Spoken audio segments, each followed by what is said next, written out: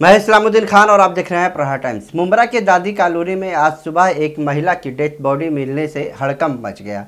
बताया जा रहा है कि ये महिला करीब 10 सालों से अकेले अपने घर में रहती थी। मुंबरा के दादी कॉलोनी विघ्नहर्ता इमारत के ए विंग रूम नंबर 104 में ये महिला रहती थी। इस महिला का नाम कमल अप्पा मगाड़े। उम्र लगभग 50 साल बताई जा रही है। वैसे इस महिला की मौत करीब दो से तीन दिन पहले हो चुकी थी, मगर किसी को इसकी मौत की जानकारी नहीं मिल पाई।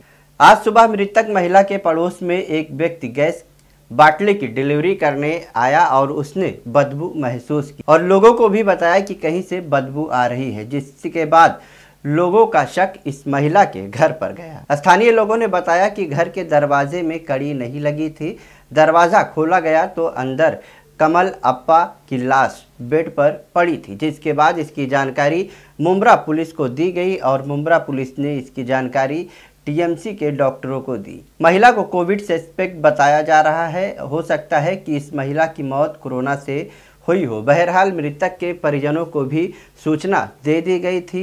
वो भी मौके पर पहुँच गए थे। लगभग दो से तीन दिन पहले ही घर के अंदर इस महिला की मौत हो गई थी और काफ़ी बॉडी फूल गई थी, यानी कि शव की स्थिति ठीक नहीं थी। बहरहाल, मनपा के डॉक्टर और कर्मचारियों ने शव को घर से निकालकर एंबुलेंस द्वारा कलवा के छत्रपति शिवाजी अस्पताल पहुँचाया गया।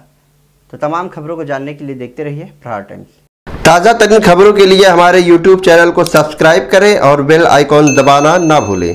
अगर आप Facebook पर देखते हैं तो हमारे पेज को लाइक करें।